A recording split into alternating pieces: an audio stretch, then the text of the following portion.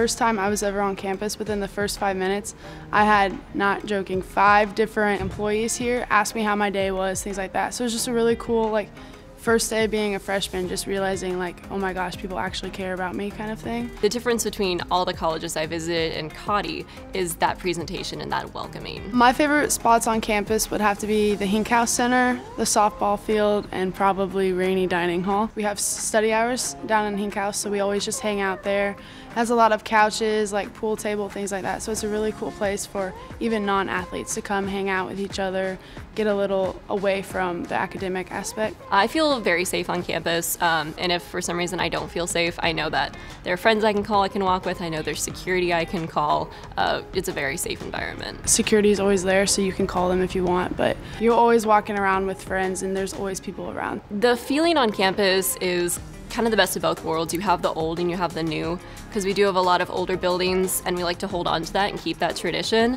They're kind of homey. And then we still do have those newer facilities that have like glass panes and, you know, bright colors. So it's a really nice mixture. The physical plant members take amazing care of our campus, so just seeing that they care too makes us want to care. Being a part of Cottey is being a part of a whole community.